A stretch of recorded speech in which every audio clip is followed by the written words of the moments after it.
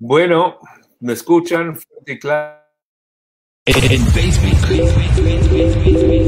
somos Rock 101 Online. Rock 101 Online. En Instagram somos Rock 101 Online.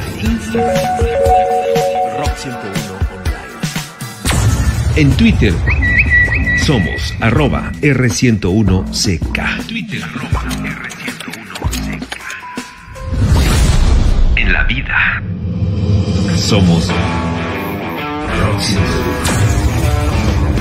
Puro, total y absoluto. Rock and roll. ¿Aló? Estamos conectándonos y ya saben que también vamos a estar en vivo en Facebook Live en esta entrevista con Julio Patán dentro de Alternación Rock 101. Todos los miércoles estamos teniendo una serie de entrevistas. La semana pasada tuvimos a Sergio Aguayo y a Marta Lamas en un par de entrevistas extraordinarias que estuvieron buenísimas, como seguramente va a estar la entrevista del día de hoy.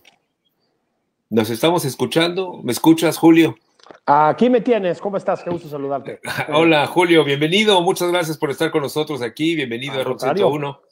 Muchísimas gracias, es un honor.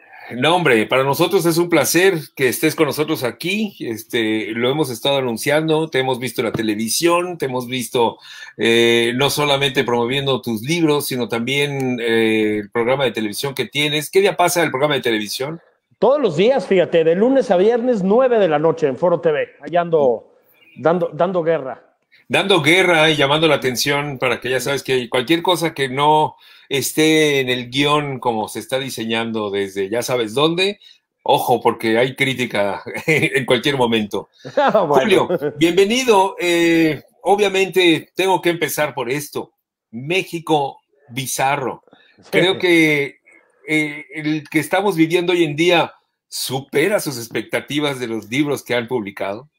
La realidad rebasa a la realidad plasmada en los libros, porque son libros basados en historias reales, ¿no? Pero, híjole, sí, caray. Mira, eh, lo voy a decir de esta manera. Yo creo que lo bizarro está muy incorporado a lo humano siempre, siempre, en todos los países del mundo. Digo, ve a los Estados Unidos con Trump, ¿qué, qué se te ocurre más bizarro que eso, no? Sí, o antes a Italia con Berlusconi, vamos a decir. Sí. Pero cuando los países, digamos, se vuelven del, del gobierno, del mando de un solo hombre, Sí. es decir, cuando ya no hay límites a lo que puedes hacer, a las ocurrencias que puedes tener y etcétera, entonces lo bizarro se dispara, pues no hay contrapesos, ¿no? Sí, es, claro. es- es como de, de antigua novela de dictadores caribeños, ¿no? De- o Sí. sudamericanos, ¿no? Sí, sí, Así sí. como del otoño del patriarca.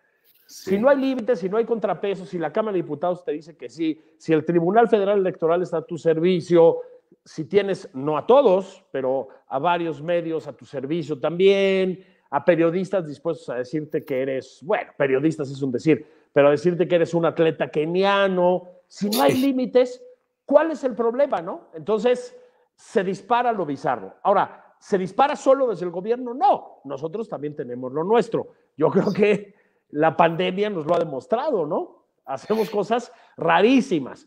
Muchas son culpa, para hablar de México, del doctor López Gatel y muchas son culpa de nosotros, también hay que decirlo. Pero para contestar a tu pregunta, no, bueno, la realidad está mega bizarra. Sí, porque de repente a mí me llama la atención cómo es posible que veas tú a una persona como el famoso doctor Gatel, que era, me iba a ir por ese camino, qué curioso que lo mencionaras. Lo fotografían tomando de la mano, sin cubrebocas, en medio de la condesa, y es una, pero es una imagen clarísima. Y luego todavía lo desmienten, lo niegan y terminan echándole la culpa a la gente que lo difundió. En ese sentido, eh, ¿cuál sería para ti la diferencia entre lo bizarro y lo cínico? Sí, en, en este caso desbordó hacia lo cínico abiertamente, ¿no? Este, lo, lo bizarro del doctor Gatel es que lo sostengan ahí. O sea, lo bizarro es la decisión del presidente de sostener al doctor López Gatel. Ok. Eh, López Gatel no es más que un cínico, ¿no? Y, y una persona, pero de un cinismo feo, además. Hay, hay cinismos simpáticos, ¿no? Hay cinismos que te hacen gracia. ¿no? Sí, claro. Este, de acuerdo. de hay acuerdo. cinismos con un ribete humorístico y etcétera. No, este es un cinismo francamente muy feo, porque es un cinismo que nos, bo- nos, nos bofetea permanentemente. Entonces, em, la estrategia de Hugo López Gatel Sí, ha conseguido que seamos el segundo país del mundo con más muertos, sí, muerto por muerto, ¿eh? Ya estamos en segundo lugar. Ya Ujú. rebasamos a la India. sí, digamos. de acuerdo, sí, sí. Imagínate nada más, ¿no? Y con una cantidad que 6, 7, 8, 9 veces más de población. Eh, exactamente, la India. 1.200 millones de habitantes más. Es Hijo. prácticamente 10 millones de, de 10 veces nuestra, nuestra población, ¿no? Sí, Entonces, vaya, solo nos chingó Trump, si me permites decirlo de esa manera, ¿no? completamente Entonces, entendido. Es- entonces, pues sí, ese es el, el mérito de López Gatel a cargo de la pandemia. No es que sea Sí. solo su responsabilidad, pero es de manera muy importante su responsabilidad. ¿no?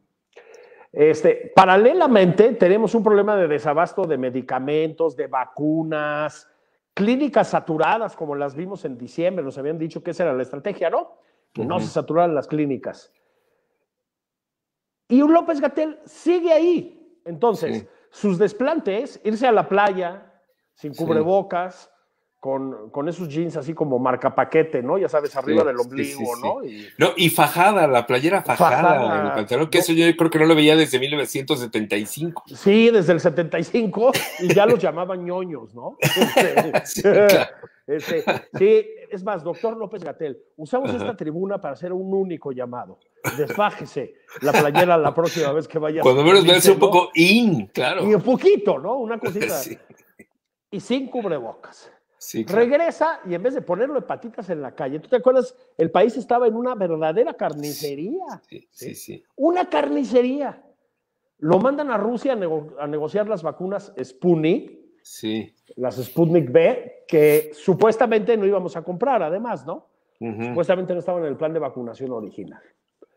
Y sigue López Gatel. Y la siguiente vez que lo vemos es en la Condesa, contagiado, Lo dijo él, no lo estoy diciendo yo. Estaba enfermo todavía, claro. Entonces podía, Claro. estaba haciendo un dispersor de la enfermedad. de la enfermedad, sin cubrebocas, Sí. que porque estaba en el Parque México, mano. Entonces, eso ya es un, todos ustedes, así, y todos ustedes somos 120 millones de mexicanos, me valen madres, háganle Sí. como quieran.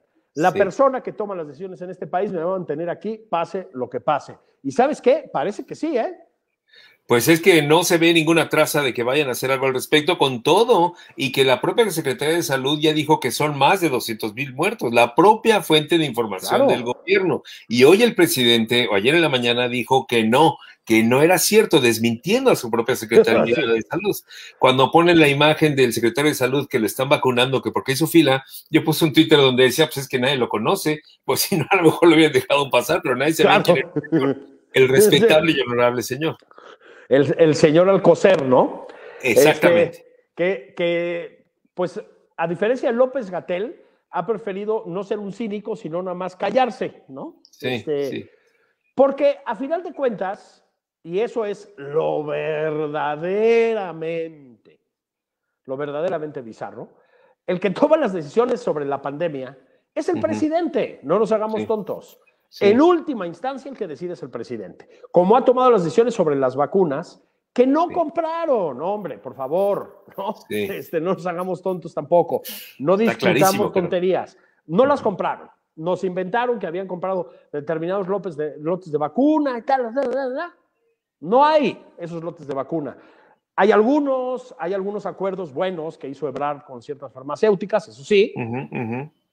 Pero no compraron las vacunas, lo dijo Naciones Unidas, lo sabe la Organización Mundial de la Salud y lo sabemos todos. Sí. Entonces ahora están viendo, pues, entonces por eso celebran así con mariachi, ¿no? Este, y con la danza de los venados y todo el gabinete, cada que llegan 300 mil vacunas de no sé dónde, ¿no? Sí, sí, sí. Este, es, es, eso sí, es bizarro, digamos. Y, y- y- ese lenguaje completamente trasnochado, ¿no? De eh, un tuit que publicó ahí Marcelo Ebrard. Gracias, señor presidente Vladimir Putin, por enviarnos Sí. 500 mil dosis de vacunas Sputnik B. Dices, bueno, eso yo no lo veía desde Luis Echeverría elogiando Sí. a Josip Broz Tito, ¿no? Sí, este, exactamente, ¿no? Como los lo- no alineados, ¿no? En, Sí. esa onda. Este, Exacto. El presidente le ha dado esa tesitura, digamos, al, al gobierno federal. Este, pues, tiene una onda muy anticuada, ¿no? Una, una concepción pues, muy, pues, sí, muy echeverrista, muy López, López Portillista también, ¿no? Sí, Eh, eh, pero pues Ebrard, tú dices, bueno, pues es más joven, ¿no? O sea, mano, Cuando- no hace falta. Que podría además, ser un poco más contestatario, ¿no? A ese tipo de ¿no? establishment. Sí, sí, claro. a ver, además, esa es otra mentira. O sea, nos dijeron, ahí vienen las Spoonie, ahí vienen. Ya, ya hablé con, con Putin, Ajá. no, no vamos a saber qué hacer con ellas. O sea, van a Sí. sobrar. Bueno, Sí. pues tampoco fue cierto. Es decir, Tampoco. Pero te- te- me, me recordaba de aquel famoso, no vamos a saber qué hacer con tanto petróleo. Preparémonos para la, para, Para la, ¿cómo se llama? Para los excesos, para la prosperidad. La- administrar la prosperidad, administrar la abundancia. ¿no? Exactamente. de, de López Portillo. Y bueno, pues los laboratorios rusos se dijeron, oye, no, pues sí se las vendemos, Ajá. pero no haya disponibilidad, están apartadas. ¿sí? Llegaron muchísimas solicitudes de vacunas, para empezar los argentinos que las contrataron desde antes, ¿no? Sí. Entonces, lo que estamos viendo es una de las manifestaciones de lo bizarro que es la mentira. La mentira elevada a categoría de gobierno, ¿no? Sí, y fíjate, eso me lleva a otra pregunta importante, porque a mí se me hizo un pasaje muy raro lo que pasó el día de hoy. Cuando el presidente anuncia y dice que él se va, primero dice que sus doctores están evaluando si se vacuna o no, Sí. y luego dice que se va a vacunar en privado, cuando todo mundo en todo el planeta están poniendo las imágenes cuando le están poniendo la vacuna.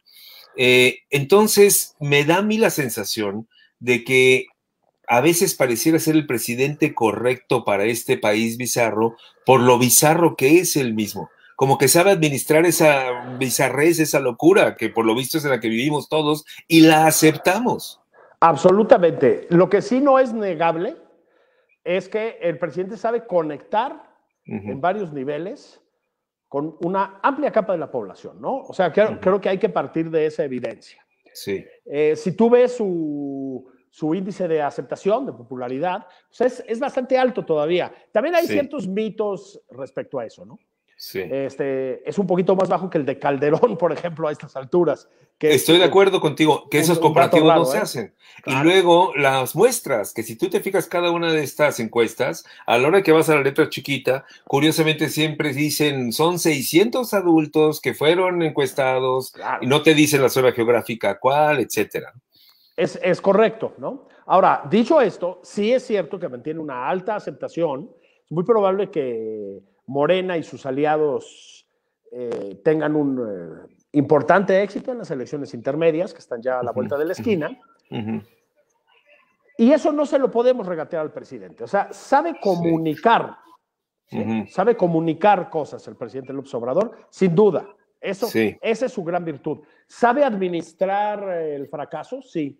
Muy bien. Esta administración es objetivamente una colección de fracasos en todos los ámbitos, ¿no? Uno Este, tras otro, tras otro, tras sí. otro, pero todos son culpa de alguien más. sí, Nunca hay una aceptación de decir aquí nos equivocamos o vamos a corregir el rumbo. El caso de Gatel, el caso de las, las iniciativas eléctricas, en fin. El, el grotesquísimo, para hablar de lo bizarro elevado ya sí, a la enésima potencia, de San Ajá. Juana Martínez en Notimex, ¿no? O sea, Sí, claro.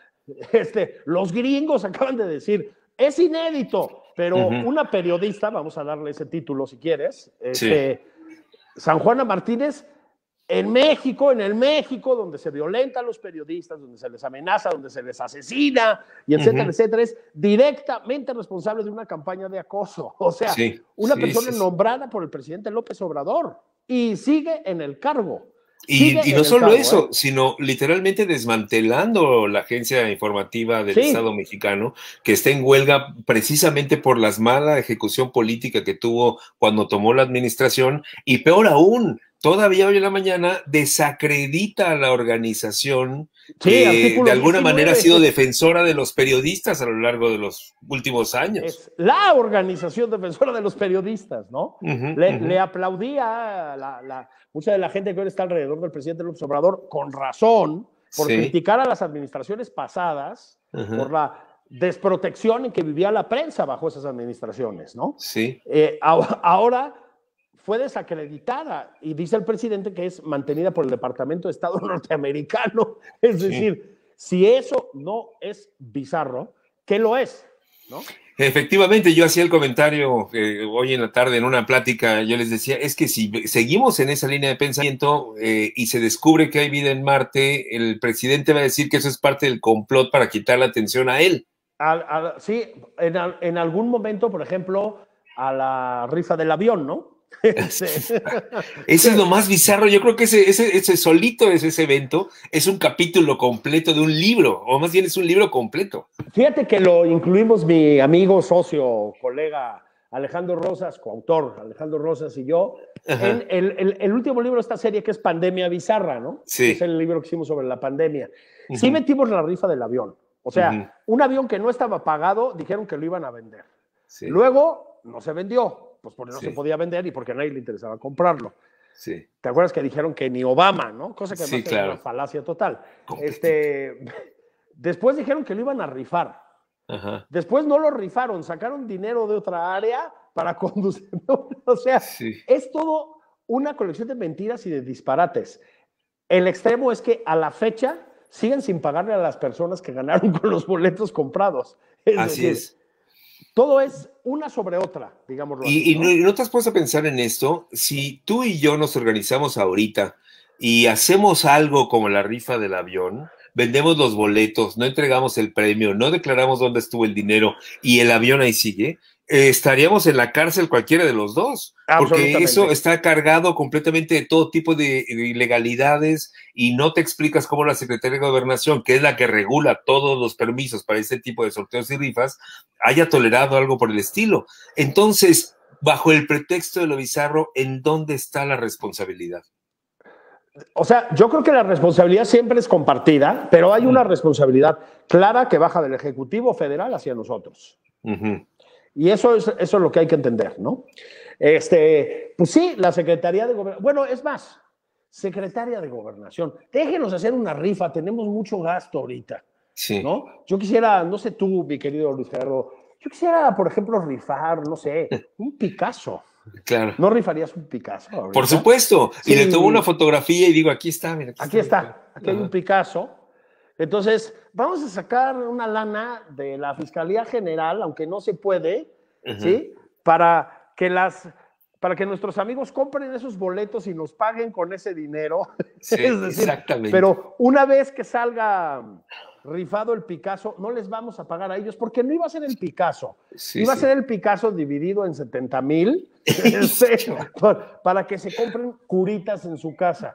Sí, Bueno, y luego además, tú todavía con la prerrogativa de si aparece un comprador, venderlo. Ah, sí, porque después de rifarlo, lo venden. Es Sí. decir, es disparatado, ¿no? Completamente. Disparatado. Es que, eh, mira, el otro día estaba pensando, es que si tú haces un análisis de todas las cosas que están pasando en este gobierno, yo creo que siempre ha habido ese tipo de picardía en nuestro país. Sí, claro, ¿no? claro. Desde Gustavo Díaz Ordaz, desde Luis Echeverría, y, siempre ha habido puntadas que todos nos hemos burlado. Peña Nieto fue una, un abrevadero inagotable de puntadas. Pero creo que nunca se había sentido que fueran unas puntadas que pusieran en peligro la estabilidad del país. Y aquí yo me atrevo a decir que sí hay puntadas que ya están rayando en un descontrol peligroso. Muy peligroso. Es decir, a ver, Pemex y Dos Bocas y toda la política energética de este presidente son, es una puntada. O sea, eso no tiene vínculo ni con el mundo actual, ni con el contexto internacional, ni con la realidad del país, ni con nada. Y corremos un riesgo serio de que arrastre al país completo a la bancarrota. Entonces, ujú. Pemex, sumemos en la Comisión Federal de Electricidad, habían tenido problemas en sexenios pasados, sí, hombre, gravísimos. Y problemas de corrupción también. Sí, claro que sí, por supuesto que sí. Pero no nos habían puesto en este riesgo de ninguna manera, ¿eh? Sí. De ninguna Sí, manera. Como nunca habíamos manejado una pandemia de esta forma. A ver, nunca habíamos enfrentado una pandemia como esta, eso hay que decirlo. O sea, Sí. esto, esto es inédito para nosotros y para el resto del mundo, ¿no? Así es. Pero el grado de incompetencia y, ¿sabes qué? De mm, frialdad respecto a las muertes y los contagios. Sí. que ha demostrado esta administración, no lo habíamos visto. Es decir, Sí. que Hugo López Gatel y el presidente se rían en las conferencias mañaneras, donde están dando la cifra de muertos, pues Sí, ya, claro. a, a mí sí, a mí sí me rebasa, ¿no? Y ni un solo gesto de humanidad, de No, empatía. y no. luego se avienta la punta de decir que no sabe lo que significa empatía. Es, es correcto. Y, y, pues sí, probablemente no lo sepan, ¿no? Entonces, eh, el presidente se cansó de criticar la gestión de Felipe Calderón, bueno, de la administración de Felipe Calderón, de, de la influenza, ¿no? Este, bueno, pues fue bastante mejor. México tenía buenos antecedentes de manejo de epidemias. Sí. Eh, te voy a decir otro, ¿eh? El SIDA. El SIDA en los años 80 y 90, cuando empezó a golpear al planeta de una manera despiadada, en México se manejó bien, ¿eh? Sí. El, el- el secretario Soberón entró con todo, repartió condones, hizo pruebas masivas de forma gratuita, pruebas masivas de forma gratuita, voy a repetirlo, ¿no? Sí, Este, sí, sí, sí. Campañas de concientización, etcétera, etcétera, etcétera, y con dolor fuerte para la población en México, porque el SIDA pegó duro, se contuvo. ¿sí? Teníamos experiencia en eso, como tenemos experiencia vacunando. Es lo que te iba a decir, los programas de vacunación de México eran extraordinarios y eran millones de vacunas anuales. Millones, millones. Eh, la vacunación contra el COVID ha sido desastrosa.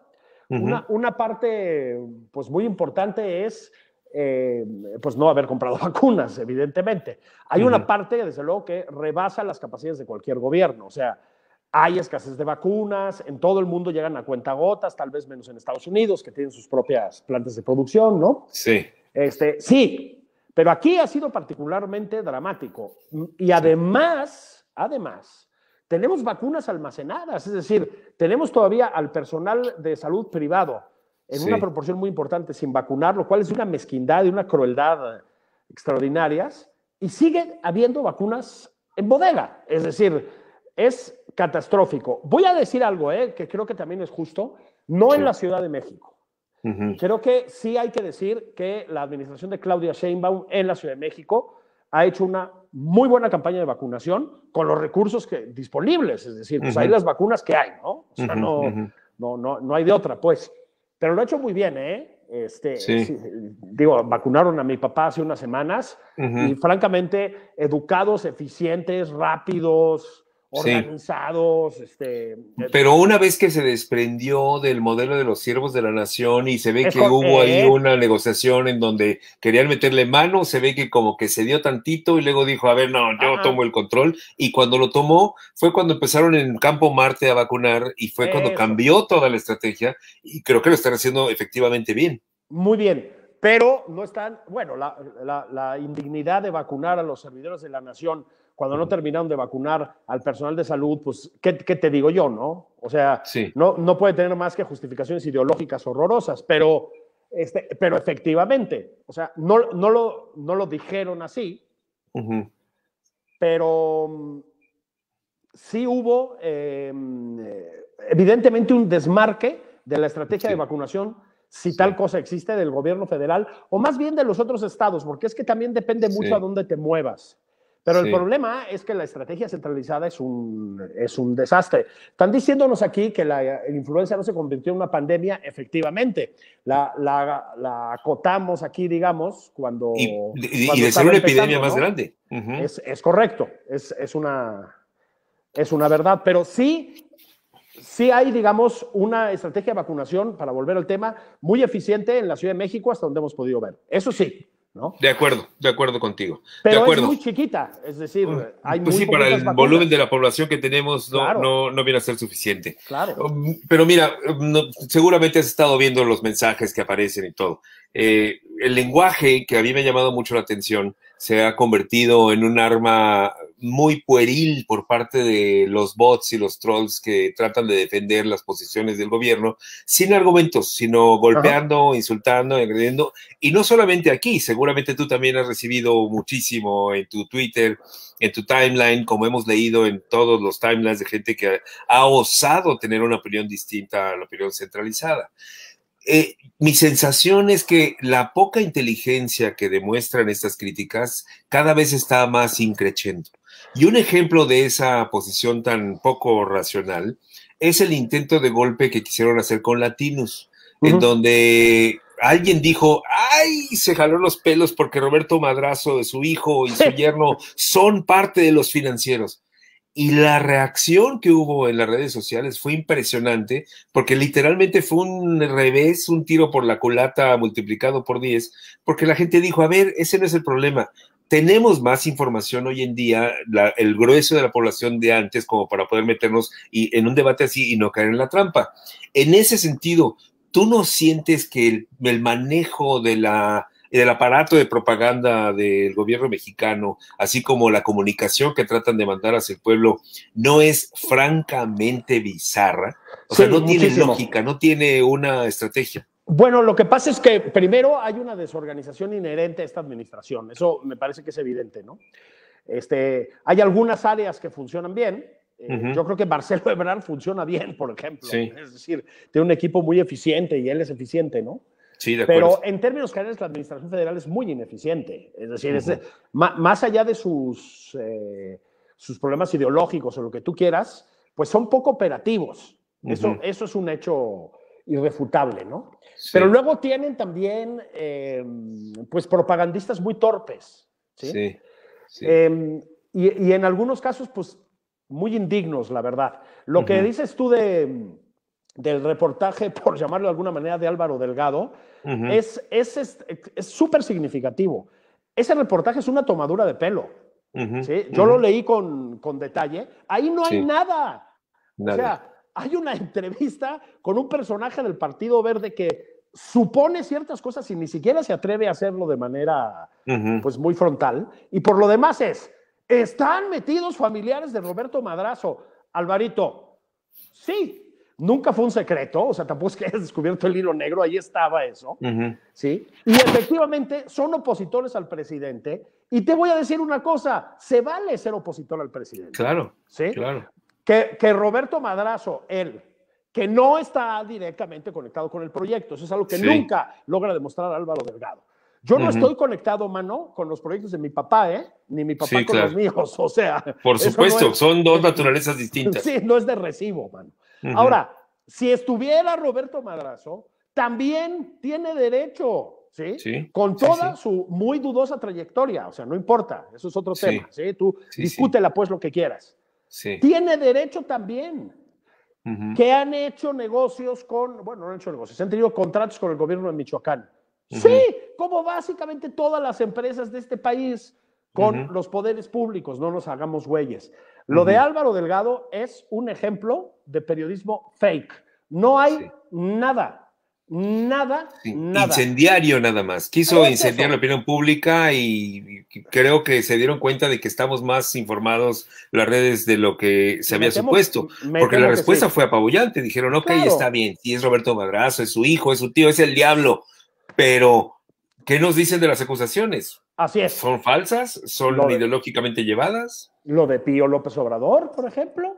¿eh? Por ejemplo. Es decir, más allá del el origen de todo esto, del complot y etcétera, la información que nos arrojaron Carlos Loretti y su equipo, pues no lo han podido refutar.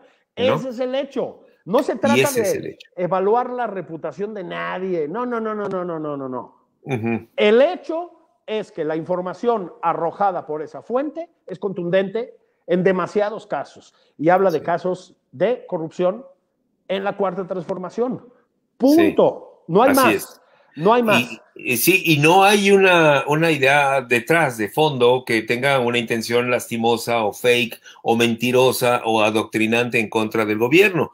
Que por el otro lado, esa sería mi otra pregunta ese adoctrinamiento que está queriendo meter el gobierno actual y que tiene tintes maoístas, inevitablemente no pensar en esos discursos permanentes, es estar hablando permanentemente, es estar repitiéndole a la gente lo malo que son, como lo dijo Gatel cuando dijo que los 200 mil personas eran culpa de los medios de comunicación porque querían quedar bien con sus accionistas, como creando estos monstruos, ¿no? Que muchas veces pueden infectar a la opinión pública.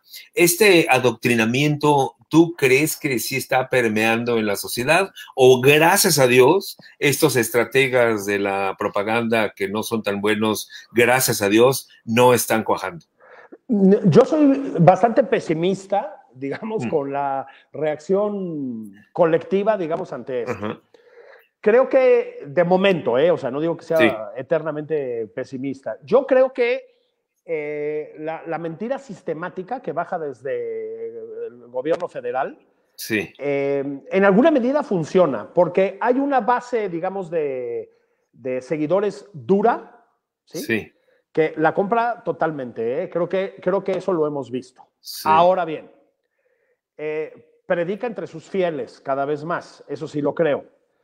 O sea, toda la franja de gente que se opone desde el principio a esta administración, cosa que también es legítima. Esto es una democracia todavía. Sí, Este, y la gente que estaba más indecisa, digamos, hay ahí mucha gente, hay un, porcentaje muy importante de esa gente, quiero decir, que eh, sí no se la compra ya, porque es una forma de propaganda pues muy burda también, ¿no? Entonces, mm, queda este tipo de regímenes, yo no temo en usar la palabra populista, o sea, lo es, aunque no es uno de los populismos más extremos, Em, este tipo de regímenes, digamos, em, funciona mucho en torno a la mentira, sabe que le funciona en una proporción, pero también sabe que hay una capa, o debe saber que hay una capa de la población que no se la compra. Y esa capa de la población está ahí. O sea, sí es demasiado grotesco lo que vemos. Sí. Es, es, es, demasiado burdo. Voy a tener que usar un, un ejemplo que a mí personalmente, por la relación que he tenido con él, me pesa usar y es el de Fabricio Mejía con Enrique Krause. Mira, este, hace un par de semanas Fabricio empezó a circular un change para que la Fiscalía General de la República procesara a Enrique Krause por traición a la patria. Sí, sí, sí. Lo, ¿de, qué, están hablando, cabrón? O sea, bueno, es por un artículo que publicó Enrique en el New York Times, en el que lo único que, bueno, hace, una, hace digamos, un análisis, pues, muy meticuloso y duro de esta administración, como es eh, Enrique generalmente, pero también muy educado y de un tono muy templado. O sea, no, Enrique no es. Y muy reflexionado. Y muy reflexionado. Muy reflexionado. Y lo único que dice es que en la, en la, pues en la relación bilateral que tenemos con Estados Unidos, a veces incluso a pesar de nuestro presidente, porque hay momentos en que es claro que eso le pesa, pues Biden tiene algo que decir y lo único que dice Enrique es, bueno, ojalá que Biden, que es una figura mesurada, logre amortiguar un poco el radicalismo de nuestro presidente. Es todo lo que dice. y Fabricio se lanza a decir que hay que procesar a Enrique por traición a la patria. Sí. Entonces, hay ahí una violación de un principio que todos deberíamos respetar, que es que no se le manda a la policía a nadie por opinar, ¿sí? Claro, o sea, por Dios, a nadie. Nunca. Muy bueno eso, no se le manda a ver, no, no, claro, tienes nunca, razón. Nunca, ¿sí? Claro, nunca. Claro. Enrique no lo haría jamás. Sí, bueno, cualquier persona yo creo que en una sensatez no invadido por este adoctrinamiento no lo haría. Yo leí el artículo, lo retuiteé y lo estuve difundiendo porque efectivamente no era nada así que tú dijeras faltó al respeto y debería estar convocando a tomar los fusiles y tomar por asalto y traicionar al país. Y se me hizo también una acción muy desmedida, pero en ese contexto populista, adoctrinante, que desafortunadamente sí a veces logra cuajar en cierto sector. Ese es el problema, ¿no? Entonces, claro, el change no llegó a ninguna parte, pues eso es un, disparate, o sea, eso no va a pasar. Pero es sintomático de lo que estábamos viviendo. O sea, Fabricio es un muy buen escritor, es una persona inteligente, es, en fin, ¿no? Es una, una, una, persona que lleva muchos años, además, luchando por valores democráticos, ¿sí? Este, yo lo conozco en toda la vida, ¿no? Y lo que hace ahí es inaceptable es absolutamente inaceptable, ¿sí? Y hay que decir las cosas como son. Este, pero es que además, parte de una lectura o no lectura del texto de Enrique, que simplemente no se sostiene. O sea, Enrique jamás pide una cosa parecida. Sí, es desmedido completamente, desmedido. total. Pero fíjate, a mí me pasa una cosa muy curiosa que seguramente a ti también te ha ocurrido. Yo desde muchos años atrás he defendido siempre la libertad, la democracia, estuve en contra de y criticando y critiqué desde 1988 el proceso electoral eh, y siempre apoyé mucho cuando llegó Cuauhtémoc Cárdenas al poder en 1997, en el 2000 Fox, al propio López Obrador tuvimos una serie de personajes hace dos años entrevistándolo para el proceso y todo.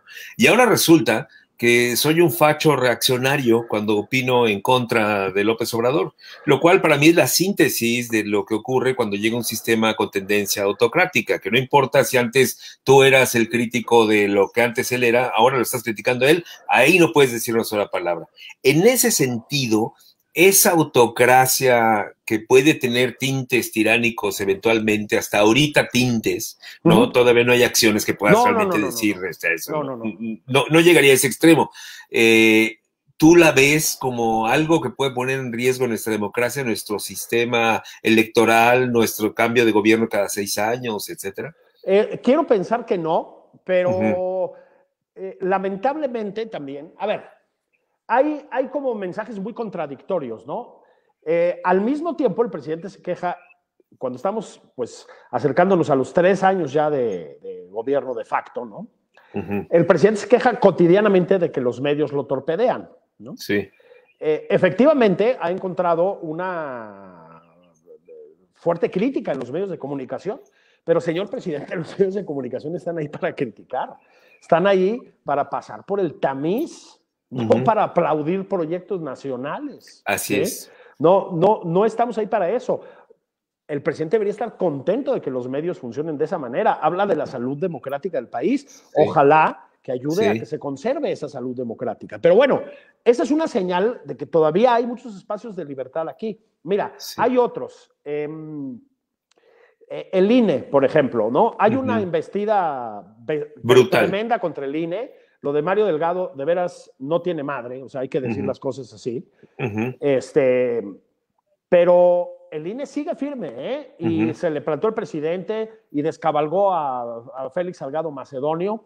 Ahí va el tribunal a restituirlo, ¿eh? O sea, no te preocupes, el tribunal está armado con gente simpatizante de la 4T. o sea, eso, pero de todas maneras el INE hizo eso. Hay un juez que frenó la reforma eléctrica. Es decir, hay hay muchas muestras de salud democrática también. Eh, las redes sociales que tanto los irritan, tampoco hay que descartarlas. ¿eh? Las redes sociales importan. Las redes sociales gravitan en la toma de decisiones y demás, no solo de las personas que están en el gobierno, también de los que vamos a las urnas. O sea, tienen un peso y hay una resistencia fuerte. O sea, Twitter es duro. ¿sí? el mundo no es Twitter, te dicen eso. No, ya sabemos que no es Twitter pero es una parte importante del mundo. Por supuesto, y que genera opinión, muy importante, o sea, no, no pasa así no va, sino va dejando su estela de influencia. Claro, por eso les preocupa tanto. ¿sí? sí, sí. Entonces, hay muchas muestras, insisto, de salud democrática, pero también hay muchas tendencias a la concentración del poder muy graves. O sea, la disolución, se ha dicho mil veces, de los, de los organismos autónomos. Sí, sí, sí. Este, la mm, pues el torpedeo contra los medios desde la tribuna presidencial. Que Ahora somos responsables hasta de que no haya médicos especializados. Claro, tú eres culpable que no haya vacunas. ya, te lo voy a eh, eh, decir. Eh, y los, dos somos culpables de que no haya médicos, ya, somos responsables de todo. Ya, ¿qué haríamos sin el doctor López Gatel, no? Entonces, hay, yo creo que el país está todavía como en una especie de jaloneo, digamos, fuerte, ¿no? Las elecciones intermedias van a ser pues evidentemente determinantes. Yo creo que de lo que pase ahí depende mucho el futuro de este país. Si el presidente obtiene una mayoría calificada, vamos a estar en problemas, porque em, la tendencia natural en, eh, pues en las personas que gustan de concentrar el poder, como nuestro presidente, ante la frustración que genera la realidad, es a radicalizarse, me temo. Eso es lo que ha pasado. Entonces, no sirve su política energética. Este, Ahora cambiamos la constitución, ¿no? Es la amenaza, sí. Viene, viene, la amenaza. No sirve el sistema de salud que pues improvisaron, porque tampoco es un sistema de salud. no, no, no, no, etcétera, etcétera, etcétera, etcétera, se cae el Producto Interno Bruto, esta cosa que repiten también como un mantra, por la pandemia, no, no es por la pandemia. No. La- el desplome de la economía mexicana empezó antes de la pandemia Sí, y sí, en sí. la pandemia, desde luego la pandemia tiene una influencia muy importante en eso Sí. que está pasando, pero en México es mucho más grave que en otros países. Eso tiene que ver con las decisiones del presidente, ¿sí? Entonces, Sí. eh, la permanente frustración a que lo tiene que estar sometiendo la realidad, que es necia, Sí. eh, lo lleva a radicalizarse y eso me preocupa, sinceramente. Sí, tampoco, sí, tampoco estoy en, ese en esa posición de estamos en Venezuela, eh, tengo que decir que No, no. no, no. Yo tampoco, no. ¿eh? De acuerdo contigo. Pero sí veo que hay un riesgo en caso. Mira, como comenzó esta conversación, ¿por qué es tan bizarro estos momentos en nuestra historia? Porque no hay un contrapeso. Así Yo es. hasta me he atrevido a decir que es necesario ese contrapeso para sacar lo mejor de nuestro presidente. Así, así lo pondría dentro de esta conversación. Si no tiene una oposición, vamos a tenerlo desbocado y puede tender a radicalizarse si se oponen las fuerzas de la realidad a lograr sus objetivos y es cuando vienen los momentos de las malas decisiones. Sí, absolutamente, ¿no? Este, por eso preguntaba alguien por ahí con una especie de ironía, ah, cabrón, que los medios no están ahí para informar en vez de para criticar. No, es decir, los medios están ahí para informar y para criticar. Así el, es. el periodi- a ver, ojo, ¿eh? No en vano, em, una de las obsesiones del presidente son los periodistas de opinión. Sí. Pues sí, Enrique sí. Krause para empezar, pero le ha pegado a Jesús Silva Gerso, a Carlos Elizondo, a Héctor Aguilar Camín, a, A Leo mundo. Zuckerman. Bueno, son gente que crea opinión, que critica. El periodismo nació creando opinión y criticando, no solo transmitiendo datos, que también lo hace, por supuesto, y lo debe de hacer.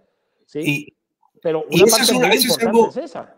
Eh, Claro, y esa es una parte de este ejercicio que estamos haciendo, porque yo creo que cuando los periodistas opinan y generan opinión, es para nosotros alimentarlo, nutrirlo y aceptar o rechazar las propuestas que se están dando. Por No supuesto. es que te digan cómo pensar, sino te ayudan a tú formar un propio criterio y esa es una labor que pareciera ser que se quiere frenar a menos que se piense y se opine como ellos quieren que piensen y se opine. Sí, es correcto. Por, por eso las mañaneras se han vuelto el espectáculo, pues esta corte de los milagros que vemos co- cotidianamente con estos personajes tan raros ahí que se cambian de lado el parche Sí. y, y van con pajarita y la Sí, chingada, quién sabe ¿no? O sea, quién asesora en una- esto, una pero cosa rarísima, bizarro, ¿no?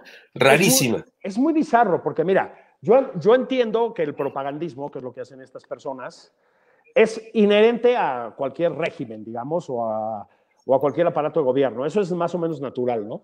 Lo que no entiendo es para qué sometes al presidente a ese bochorno. Es decir, es grotesco. Habría otras formas de hacerlo. O sea, puedes poner voces más eh, elegantes, mesuradas, sensatas, etcétera, Más que serias. aplaudan al presidente. Sí, sí. ese, ese, Sí. pues ese espectáculo grotesco, la verdad me parece innecesario desde la propia lógica del gobierno federal, ¿eh? Sí, de acuerdo, pero creo que es parte de eso que te estaba preguntando hace rato, de que eh, es tan bizarro nuestro país que mientras más bizarro responde el presidente una pregunta o más bizarros son estos periodistas, logran un impacto más importante dentro de la gente. Sé que te tienes que ir, eh, pero antes, platícanos ya para terminar sobre eh, Pandemia Bizarra y los libros de México Bizarro, para quienes todavía no lo conozcan, que deben de ser pocos. Pues, pues te lo agradezco mucho. Mira, en 2017, mi amigo Alejandro Rosas y yo publicamos un libro que se llama México Bizarro, que son 90 historias extraídas de la historia con mayúscula de México, Sí, o sea, historias reales, pues, Sí. así, bizarras, ¿no? Bizarro quiere decir raro. ¿sí? sí, Eh, dejemos de discutir eso. Hace mucho que bizarro no quiere decir gallardo ni valiente en español, sí, quiere decir raro. ¿sí? Sí. Ya está probado por los diccionarios de la lengua y etcétera. Bueno, sí. Este, son historias que no tienen ya nada que ver, sálganse de ahí, no tienen que ver con la actual administración, ni siquiera tienen que ver con la administración de Peña Nieto, son de la historia de México. Ok, O sea, desde, desde la colonia, digamos, hasta el siglo XX. ¿sí? Ujú. Y- incluso algunas del siglo XXI. Y van de los deportes al espectáculo, a la política, por supuesto, Ajá. este, y a lo que tú quieras, ¿no? A la cultura y demás. La verdad, el libro fue muy exitoso. Son historias breves todas. O sea, tienen dos paginitas. Son historias que puedes Ujú. leer como eh, sa- salta- saltando de una a la otra sin ningún rigor.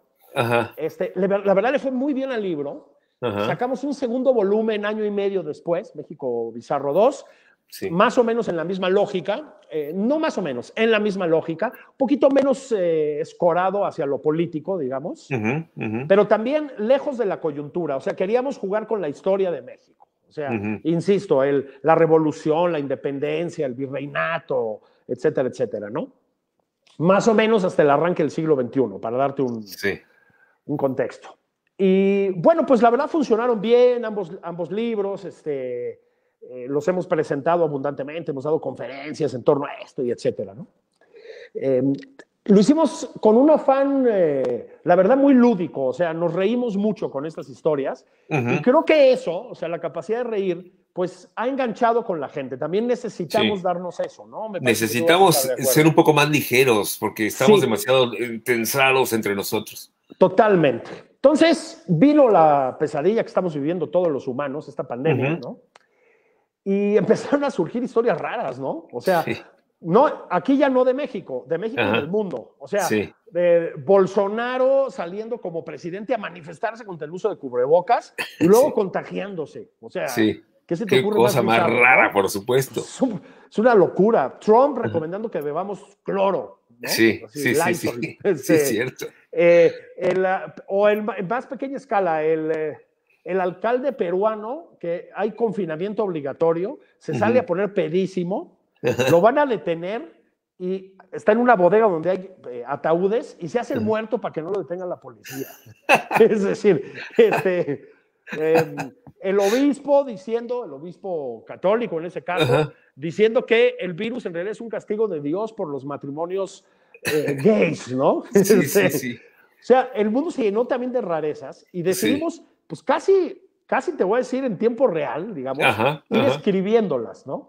Qué Ese- bien. Lo que salió ahí fue Pandemia Bizarra, que es un libro que está circulando también con buen éxito, debo decirlo. Qué bueno. Este, pero igual, son historias breves, nada más que en este caso nos proyectamos al mundo, ¿no? Muy pues bien. échenle un ojo. Nos Sí, reímos claro. de la pandemia, curiosamente. Eso no significa reírse de la tragedia, ¿eh? No, no, no, no. Significa reírse- Sino de nuestra, la circunstancia que nos ha tocado vivir, porque todos hemos padecido esto. No, no, nadie sale libre de toda esta situación. Obviamente hay- entiendo que no es una falta de respeto a las personas que han fallecido No, que no, nos no, han no, perdido no, a alguien cercano, sino es dar un poco de ligereza para los que seguimos sobreviviendo y que sabemos que necesitamos de repente encontrar nuestro lado humano. ¿En dónde encuentran el libro? Está en todas las librerías, está en formato electrónico, Ujú. eh, funciona bien. Ya, ya ves que luego los libros en formato electrónico son un poco incómodos. Es un libro muy visual.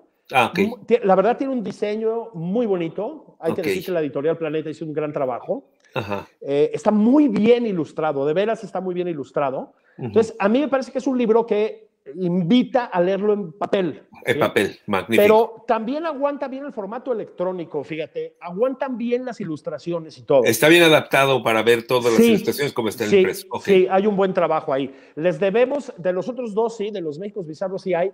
Aquí no hemos grabado todavía audiolibro. Ajá. Este, pero bueno, es que eso requiere, pues, meterte a un estudio, ponerte a grabar. Y Alejandro es Rosas una es buena muy chamba, irresponsable. Oye, bueno, entonces, si lo pueden buscar en electrónico, en electrónico, si no, en todas las librerías y de preferencia compren el objeto libro. Sí, yo creo que les va a gustar, honestamente. Qué buena onda. Oye, qué padre y qué fresco este, escuchar que pueden tener todavía algunas personas la capacidad de buscar y encontrar la manera de aligerarnos la carga que estamos teniendo con esos libros, que han tenido un éxito Urge. gigantesco. La verdad les ha ido muy bien, sí, me, me complace Sí. decirlo. Yo bueno. te diría esto, la humanidad siempre se ha reído de todo. La humanidad se ríe de la muerte, la humanidad se ríe del desamor, la humanidad se ríe de la pobreza. O sea, la Sí. humanidad se sabe reír de su contexto y de sí misma. Y es Sí. sanísimo. Yo creo que. Pandemia Bizarra, para hablar específicamente de ese libro, parte de ese principio. También nos podemos reír del pinche virus, man. Sí, claro. Hay que hacerlo porque tenemos que empezar a liberarnos y ver hacia adelante de una manera un poco más ligera, porque sí, entre la tensión política, la tensión Hijo. económica, la tensión de la pandemia, sí, eh, yo platico mucho con las personas y digo, hay que, hay que ser un poco más lights, porque no sé si te has dado cuenta, pero hay Sí. gente que tú le dices buenos días y casi casi se voltea y te dice, ¿qué de qué? ¿No? A ver, espérate, Bu- Bueno, calma, porque no ya viene con buenos. sí. Sí. Y- Ni y son entiendo, días, ¿eh? no sé qué son. Sí. Yo, yo lo entiendo en alguna medida, es un contexto muy duro, pero sí, hay, hay que, no, no todo es echarse unos whiskies en la noche, también a veces leer algo relajado puede funcionar. Bien, me parece perfecto. Oye, Julio, muchas gracias. Qué buenos conceptos estuvimos platicando. Este, esto se queda, se difunde para que le demos la mayor cantidad de, de difusión a, estas conversaciones que creo que son muy interesantes y eleccionadoras para que la gente tome su propio criterio, pero creo que es importante estos contrapesos. Y no obstante las críticas que vienen, tenemos muy claro nuestro objetivo. Creo que tú también y de verdad que un placer tenerte por acá y ojalá más adelante podamos platicar ahora que ya nos vamos acercando al 6 de junio. Un abrazote, un abrazo para todos. Muchas gracias. Igualmente, gracias Julio. Buenas noches. Ya escucharon ustedes la conversación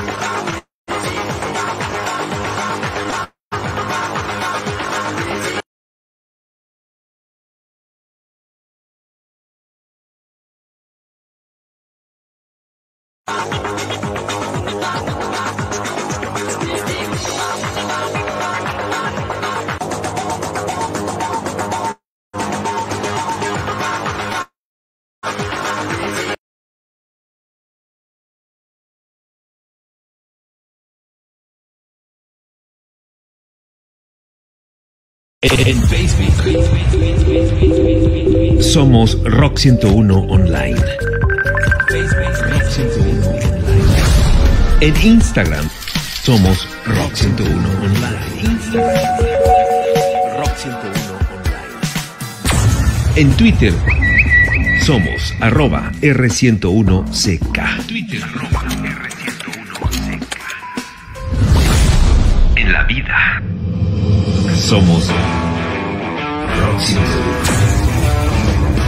Puro, total y absoluto. Rock and roll.